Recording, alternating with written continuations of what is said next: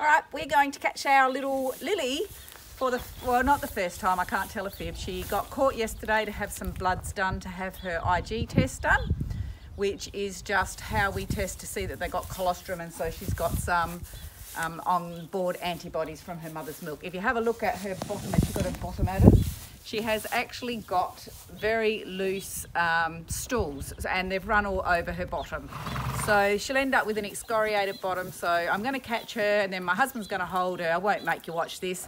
And we're just going to wash her bottom. But usually when you first catch them or anytime they're pretty quick, you usually wait for them to have a drink and then you grab them whilst um, they're drinking. She's in a little locked up yard because she's got a little bit of a gammy hind leg. So we're just locking her up for a week or so and seeing how that goes. The trick to grab them is, it looks awful, but it's not awful. You, do, you hold a tail and you hold the chest. And what I will be doing is, if she's struggling, I'll be holding her a little bit firmer. The minute she stops struggling, I'll release the pressure on her. Horses learn from release of the pressure. Doesn't matter that they're two days old, I think she is they still learn that way. So mum's loose, obviously. She's not going to get too far, uh, move too far. You might not be able to see what I do, so Emma, you might need to find a spot. All right, so she's having a drink. So if the mare will let me in, you might want to just go that way a bit. No, you've got to be quick. Got to be quick with foals. if someone held the mare, it would be easier, but we'll just see how we go. She probably won't go back for another drink now. But that's okay. I'll sneak over to mum and give mum a pat. Mum knows something's going on. I'm not going to make any eye contact with the foal. And you can see that pooey bottom right there. I really want to clean that up. She's going to go in for a drink. No, she's going to go in the stable. And I'll probably get it in here because it's easier to get her in here. It's all right, kids. All right. I got her. I got her. I got her. It's all right, lovey. I'm going to bring it out where I can see. Good girl. You got the video on? Can you? So I've just got her very lightly here.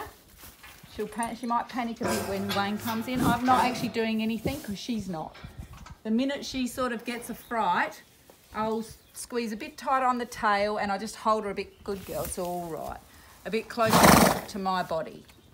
You're right, lovey, you can come down. You're right, kiss, kiss. And that's it, we're going to clean her butt. Okay, we are back. I think Lily is about five days old now. And you saw us catch her the other day. And every day since then, I've come down and sat in here and had my morning coffee and then come in in the afternoon and sat for a little while so she could come and sniff me at her own pace. But I've also caught her oh, probably a total of six times and for no longer than literally two or three minutes. And you might be wondering why I do this. Personally, I live um, an hour and a half away from my nearest vet, so if this filly needs any sort of veterinary care, I need to get her on a trailer, uh, on a, whoops, sorry sweetheart, on a float and get her to the vet. So I would rather be able to catch her and pop her on the float with less stress. So if she hurt herself, let's say, she'd have the stress of me catching her, the stress of going to the vet, and the stress of everything else happening to her. So I can reduce that stress by getting her used to being handled to some degree. I would like to pop a falter, falter, a halter on her, but she will be the one that decides when I do that. I'm just going to see if I can bring her around to the front. Whoop, she's going to go in the stable, but that's all right. She'll come out. It's all right, kids. Come on, bugger lugs, come out. Out we go. Out we go. Out we go. You can go out too, kids. Good girl. Good girl.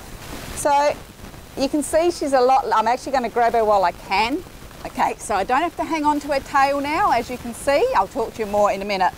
It's just from the last few days. Same principle though, if she goes to run away from me, I'll hold her firmer and when she relaxes, I've got nothing, I've just got my arms around her here so I need to get a halter on her, um, but she's a little bit, oh, she's not too bad at the moment about her face. Obviously it has to go up over her nose.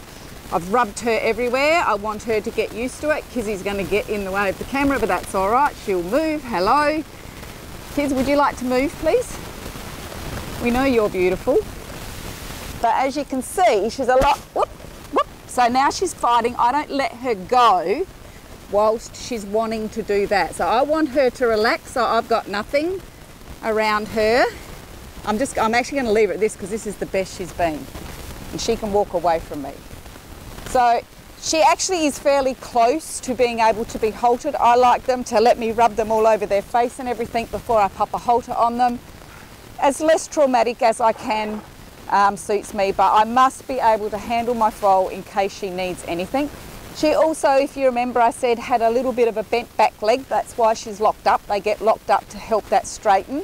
She's going to need the farrier to trim her right hind just a tiny bit coming up in the next probably 10 days. So I wanted everything to be less traumatic. So I don't, you saw the first bit and I didn't get any video of in between, but if I'd grabbed her and then every man and his dog had jumped on her and trimmed her foot and did veterinary stuff, it's a lot more um, it's a lot more traumatic for the foal. So there are people out there that say leave them in the paddock, let them grow up, and that's fine. But I've had a foal at three months that had to go and spend a week in a hospital, and I was thankful that I actually had handled her. So yep, so that's um, little Lily. She's done very well. Okay. Lily is nine days old. It's been four days since I last handled her. She's a lot more interested in people and she thinks that we're all right. Oh, not since I last handled her, sorry, since you last saw the video. I've probably handled her four or five times since then, as in catching her. But I do spend time in here when I'm mucking out the yard and stuff, actually giving her a cuddle. She's a bit used to being brushed now, just a little bit. Cheeky.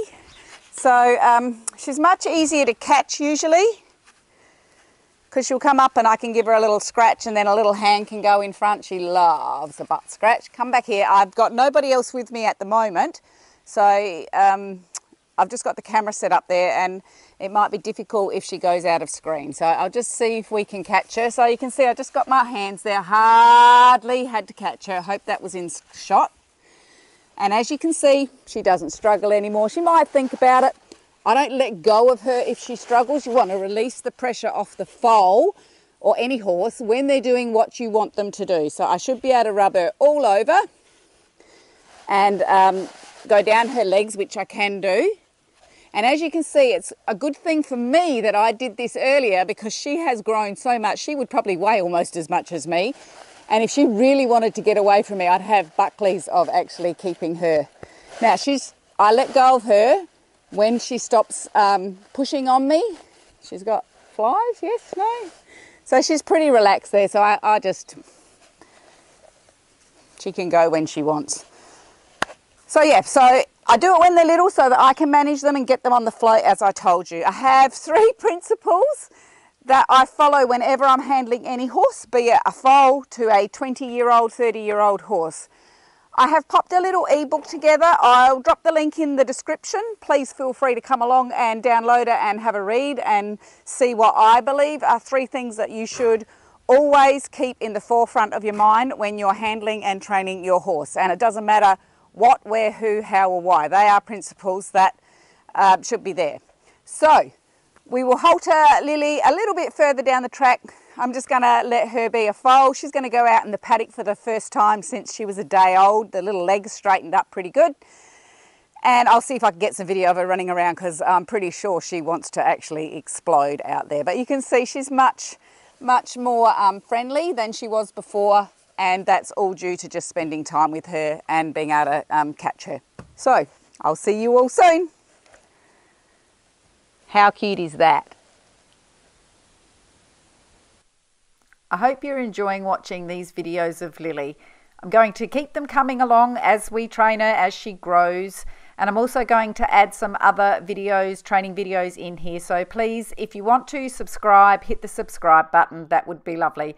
There are some other videos here. If you'd like to look around and see what we've got, I'd love to hear your comments. Place any comments in the comments below the video. I'll be sure and answer you. Thank you.